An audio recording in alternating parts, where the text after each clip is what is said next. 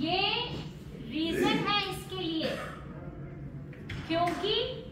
जब अब ये, क्योंकि जब ये स्टडीज़ के साथ टाइम के साथ ये पता चला कि हम लोगों को छह गुना ज़्यादा चांसेस है डायबिटीज़ और ब्लड प्रेशर और कोलेस्ट्रॉल होने के तो डब्ल्यू एच ओ जो वर्ल्ड हेल्थ ऑर्गेनाइजेशन है,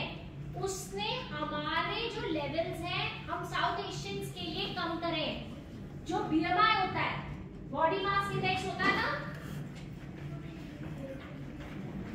जो शुगर का भी लेवल है ना एच पी का, जो पूरे वर्ल्ड के लिए और हम लोगों के लिए अलग है, क्योंकि हमारा